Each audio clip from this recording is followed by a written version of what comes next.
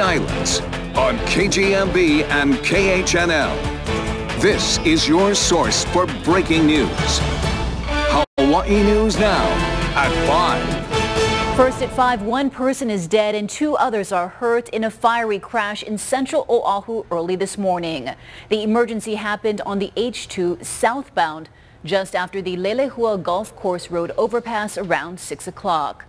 Police say an SUV was speeding northbound towards Wahiawa when it struck the center guardrail and flipped multiple times onto the southbound lanes.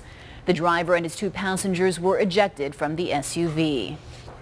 Over to the right lane, slowed down, and um, seen all of this, seen all of the debris on the ground, and then uh, on the left-hand lane, right in the middle of the lane, I seen um, a person lying down um, in a puddle of blood and um, I drove a little bit more, maybe about 20, 30 feet, and there's another body, you know, lying down on, on the freeway um, in a puddle of blood also.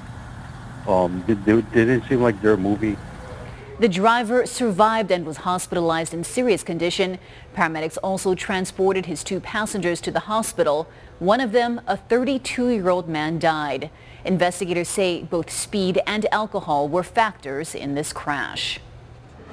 We should be valued for what we add and bring, just like the rest of the employees at Hawaiian Airlines. Starting tomorrow, more than 2,100 Hawaiian Airlines flight attendants will begin voting on whether they should authorize a strike. They say they deserve better benefits and are underpaid compared to their counterparts in the industry, while Hawaiian is raking in record profits. Our Ashley Nagaoka has more on their demands and the airline's response. This will be the first strike vote by flight attendants in the company's 90-year history. The president of the union's local executive council says that shows how bad negotiations with Hawaiian have been for the last three years. We feel like we're not being valued. We feel like the company is saying, hey, if you don't want to do it, hundreds of, hundreds of people are lining up out the door. To be seen as just a number is really horrific. It's just heartbreaking. Right now, Chung says first-year Hawaiian flight attendants make about $24 an hour, and senior employees earn about $55 an hour, which are lower than their counterparts at other airlines. She says while their hourly rate seems attractive, she says they don't have normal 40-hour work weeks. Really our pay is 75 hours as a minimum each month. We have flight attendants who have two jobs, three jobs just to make ends meet.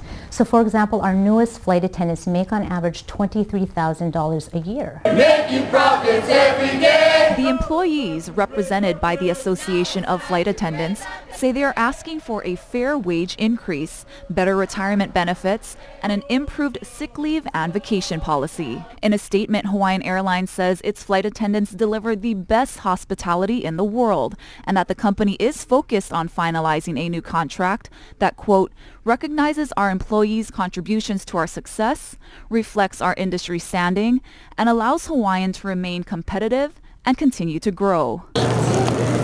Travelers we spoke to say Hawaiian's flight attendants provide excellent service. I think that they definitely need to get paid more. Um, Respect-wise, they are the best that I've had.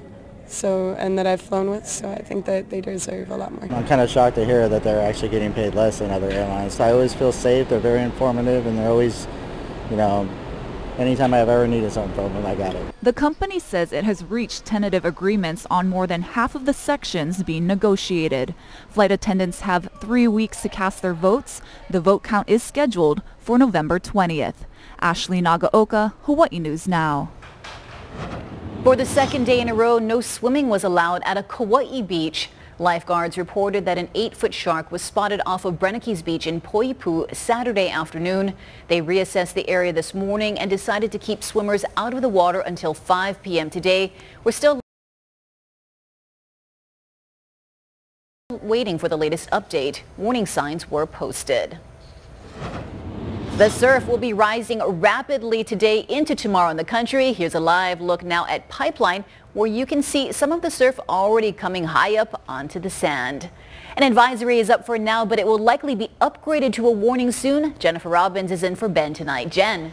And we've been talking about this storm quite some time, Lisa. Just south of the Aleutian Islands, you can see the circulation there, and that's what's generating the strong winds that will be translated to swell energy as we go into the next couple of days. There it is for you. How big is it going to be? Rising rapidly tonight, like you were talking about in the country, 14 and 20 on west-facing shores at 10 to 15. Much smaller, of course, in town, east-facing shores at at 2 to 4. As we head in the next several days, getting even bigger, close to warning level conditions. We will see this last at least through Monday night before it subsides. I'll have the rest of your seven-day outlook coming up soon. All right. Thank you, Jen.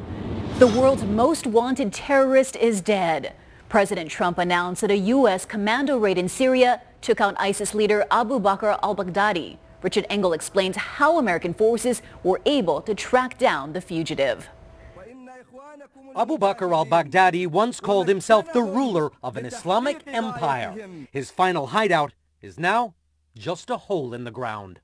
Witnesses tell us at 11 p.m. local time, U.S. Special Operations Forces swooped down on his safe house on the outskirts of a small Syrian town.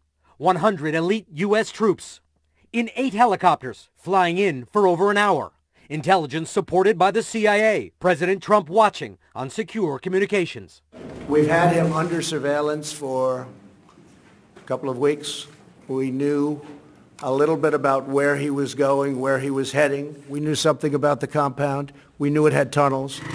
Today, this is what our camera found when we visited the town of Barisha, a crater that was Baghdadi's compound, a building nearby with a gaping hole a large crew of brilliant fighters ran out of those helicopters and blew holes into the side of the building, not wanting to go through the main door because that was booby-trapped. American special ops were on the ground here for about two hours, hunting for Baghdadi and gathering intelligence. Baghdadi hiding in a tunnel, a dog chasing him when he blew himself up. Test results gave certain immediate and totally positive identification. It was him. He died like a dog. He died like a coward. The world is now a much safer place. Abu Bakr al-Baghdadi founded ISIS. At its peak, it controlled a large swath of Iraq and Syria. It killed tens of thousands and sent terrorists around the world, killing hundreds more including Americans. Kurdish officials tell us they had a mole inside ISIS. An informant who was trusted by Baghdadi could visit him, get close to him, and pass on information back to the Kurds, which they shared with the United States. Richard Engel, NBC News, Northern Syria.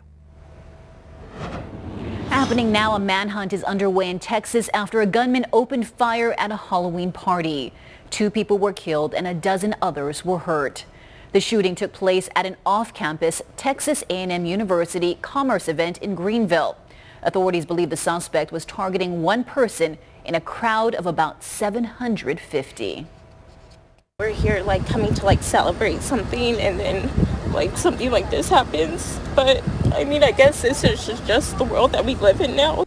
And when the shots were fired, it was complete chaos as people fled for safety and deputies attempted to locate the shooter. The school says the party was not a school-sanctioned event. The FBI is also investigating.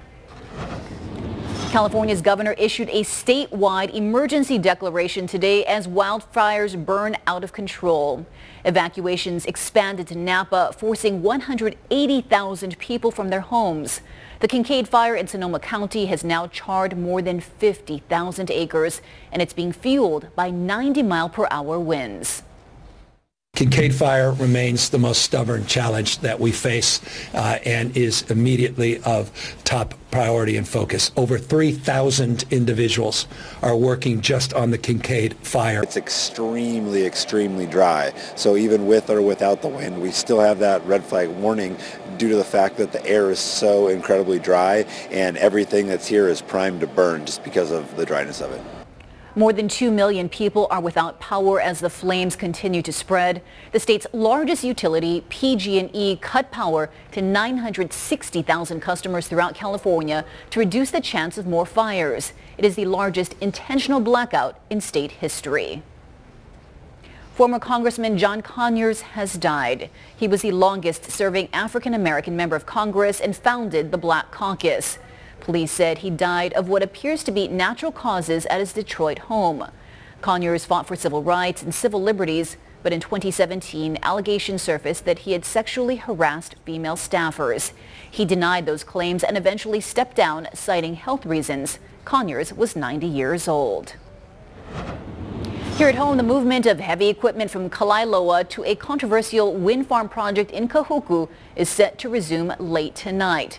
Kamehameha Highway will be closed in both directions from Laniakea Beach to Sunset Beach from midnight to 2 a.m., followed by a roving right lane closure on the highway from Sunset Beach to Kahuku from 2 to 3 a.m.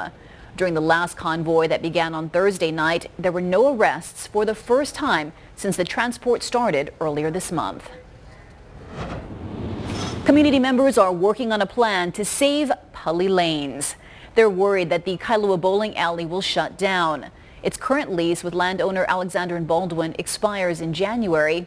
They're asking for a long-term lease with hopes to improve the bowling alley. We can't just sit back and do nothing. We have to we have to do something against A and B. We want to basically just keep bowling in Kailua and renovate Pali Lane so it'll be the newest bowling center in the state. A&B has offered a month-to-month lease with the alley, but community advocates say that's not good enough. Community members have now started a new GoFundMe account for their campaign efforts. A Big Island family is searching for its missing service dog along with another pet that disappeared. A two-year-old black pit bull named Crow and a golden retriever called Lula escaped from their home in Pepeakeo yesterday morning. The family says there was a hole in the fence which allowed them to get out. Crow also serves as a therapy dog for marine vet Sam Supnett. He's helped me keep my uh, my composure when I'm when, when I get excited. Helps me shake off depression when we're when we're alone. You know, he's like the third son. Our life is not the same without these dogs, and we need them. We need them back. My three-year-old daughter just keeps waiting by the window, waiting for them to come home. The family is offering a reward for information that leads them to the animals. You can find details on our website, hawaiinewsnow.com. After the break, a drone is deployed on an innovative mission. Details on the groundbreaking research next. Plus, a fierce competition between Big Island entrepreneurs. Find out which business plan just scored $25,000. But first, a quick reminder for folks living on the Waianae coast. The far westbound lane of Farrington Highway will be closed in Ma'ili. Hawaiian Electric plans to replace a utility pole between Kaukamana and Mana streets. Work is scheduled from 8.30 a.m. to 2.30 p.m. tomorrow.